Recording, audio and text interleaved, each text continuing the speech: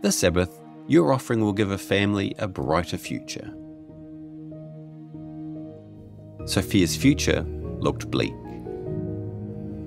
A tragic road accident sent Sophia to hospital. Unable to work and facing growing debt, she felt uncertain about her family's future. Without an income, she would be forced to sell her farm and home, her children may need to leave school, and their entire family may need to migrate in search of work.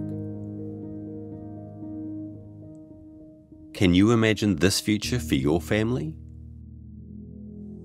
Proverbs 23:18 reminds us, there is surely a future hope for you, and your hope will not be cut off. Through your incredible generosity, we've created a brighter future for Sophia's family.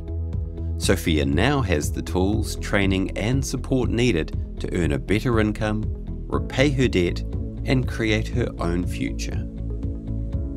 Today, Sophia's family is thriving. Your generosity gave them the chance to dream again.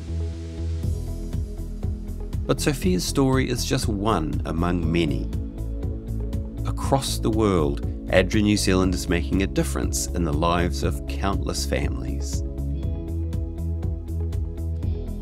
This Sabbath, as we come together in our churches, let's give another family a brighter future. Give now through your offering or online at adra.org.nz forward slash future.